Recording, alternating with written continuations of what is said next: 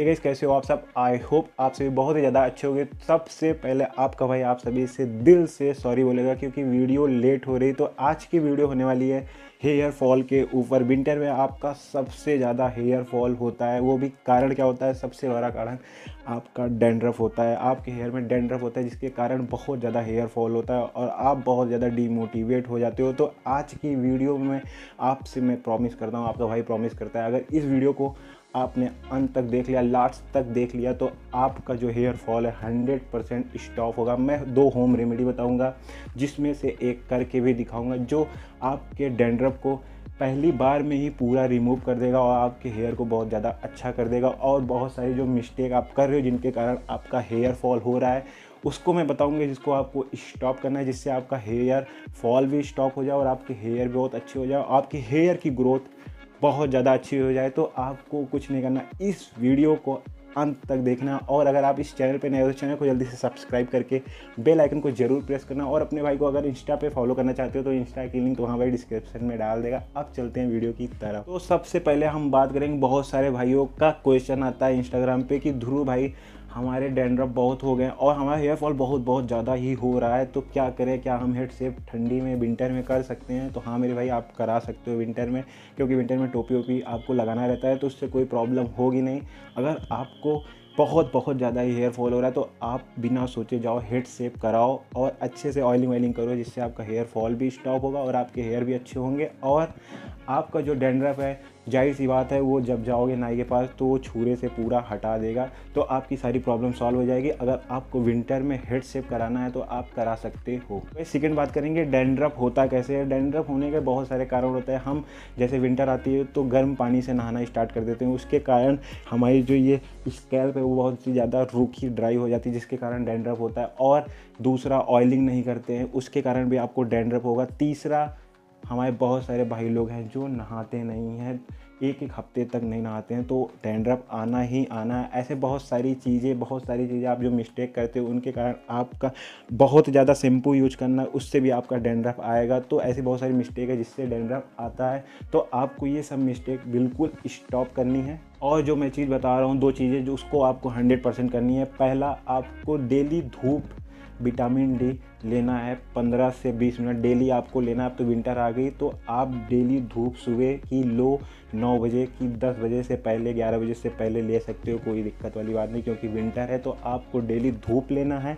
Second आपको exercise करनी है, ये मोस्ट इंपॉर्टेंट है तो आपको एक्सरसाइज करनी ही करनी है 30 से 40 मिनट करो विंटर में, विंटर हो जाए, समर हो, आपको एक्सरसाइज करनी चाहिए, इससे आपकी स्किन बॉडी हेयर हेल्थ सब कुछ बहुत ज़्यादा अच्छा रहेगा। जब यहाँ पे ब्लड सर्कुलेशन बहुत ज़्यादा बूस्ट रहेगा तो आपको डेंड्रफ की प्रॉब्लम होगी ही नहीं। और गाइस डाइट अपनी जितनी हो सके उतनी अच्छी रखो। ग्रीन वेजिटेबल अपनी डाइट में ऐड करो और, और फ्रूट्स को भी ऐड कर सकते हो। और बाहर की चीज़ जितना मैं हर वीडियो में बताता हूँ बाहर की चीज़ें कूड़ा है मेरे भाई। हाँ कूड़ा है तो कूड़ा खाना बंद करो।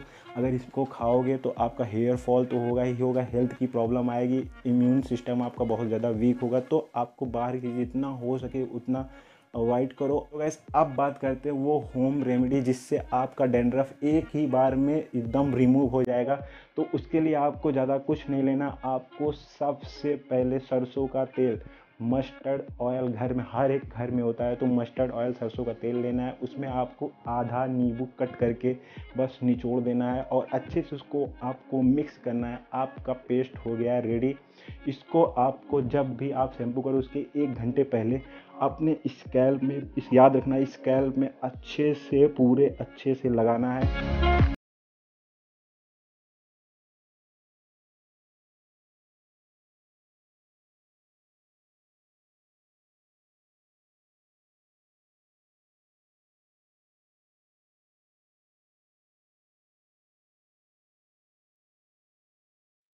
और इसको एक घंटे के लिए छोड़ देना। है एक घंटे बाद आप हाँ कोई भी एंटी डेंड्रफ शैम्पू हाँ मैं बोल रहा हूँ एंटी डेंड्रफ इसलिए आप माइल्ड शैम्पू अगर यूज़ करोगे तो क्लीन नहीं होगा तो आप इसके लिए एंटी डेंड्रफ कोई भी जो भी आप यूज़ करते हो, उसको यूज़ करना है, अच्छे से वॉश कर लेना है। आप देखना रिज़ल्ट आपको 100 परसेंट अच्छा मिलेगा। वैसे आप इस रेमेडी को करना जो कि बहुत ज़्यादा इजी है और करने के बाद आप इस वीडियो में आना और अपना रिज़ल्ट बताना कैसा आपको मिला, आपके डेंडर रिमूव हुए कि नहीं। अब आप बात करते हैं सेकेंड होम रेमेडी इसमें आपको कट लेनी है, दही, घर की दही लेनी है। दही में आपको मिलाना आधा नींबू, इसमें भी कट करके मिक्स करना है। और याद रखना, खाने वाला कपूर आता है तो आपको इसमें एक कपूर, मटर के दाने के इतना कपूर इसमें मिक्स करना है। तीनों को अच्छे से मिक्स करना है अपने हेयर में।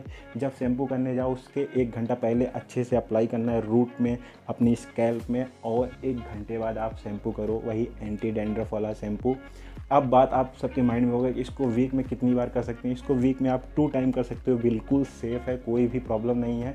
अगर ज़्यादा डेंड्रफ नहीं है तो आप एक बार ही करो, और बहुत ज़्यादा डेंड्रफ है तो टू टाइम कर सकते हो। और आप इसको पहली बार में ट्रस्ट करो मेरे पे, पहली बार जब आप करोगे तो आपका पूरा डेंड्रफ रिमूव हो जाएगा। लेकिन ऐसा नहीं है रिमूव होने के बाद डेंड्रफ आता नहीं है डेंड्रफ फिर आ जाता है तो आप इसको करें, बहुत ही अच्छा रिज़ल्ट मिलेगा। और लास्ट में मैं मेरे भाइयों को एक बोनस टिप दूँगा, जो मोस्ट इंपॉर्टेंट है, आप इसको बिल्कुल स्टॉप कर दें, इसको आप स्टॉप कर दें, आपकी आधी प्रॉब्लम हेयर फॉल की स्किन की बॉडी की सॉल्व हो जाएगी। मास्टिफिकेशन आप अगर करते हो तो आपकी प्रॉब्लम नहीं सॉल्व होने वाली तो आप इसको स्टॉप करें। जितना जल्दी हो सके इस वीडियो को देखने के बाद आप स्टॉप कर दें कि कसम खा लें, मुझे ये सब नहीं करना, तभी आपकी हेयर भी अच्छे रहेंगे स्किन भी अच्छी रहेगी और आप खुद अच्छे रहोगे। तो वैसे ये थी वीडियो। आई होप वीडियो आपको बहुत अच्छी लगी। वीडियो अगर आपको सच में अच्छी लगी, दिल से अच्छी लगी तो वीडियो को लाइक करना। इस वीडियो का लाइक है तीन हज़ार तुम्हारा भाई रख रहा है थ्री के मुझे पता है, आप सभी बहुत अच्छे हो हंड्रेड परसेंट आप सभी ये लाइक एम करा दोगे। तो जैसे ही लाइक एम पूरा होता है वैसे वैसे ही मैं न्यू वीडियो डाल दूँगा। तो मिलते हैं न्यू वीडियो में, तब तक के लिए take care love you all